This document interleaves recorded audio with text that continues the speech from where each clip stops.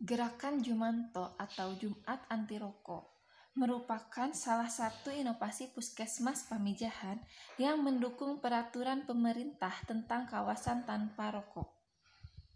Gerakan Jumanto ini dilaksanakan oleh tim Satgas Anti Rokok dengan berupa memberikan penyuluhan serta melaksanakan sidak di Puskesmas Pamijahan setiap hari Jumat sehingga bagi siapa saja yang kedapatan sedang merokok akan diberikan sanksi, baik itu pengunjung puskesmas maupun pegawai puskesmas.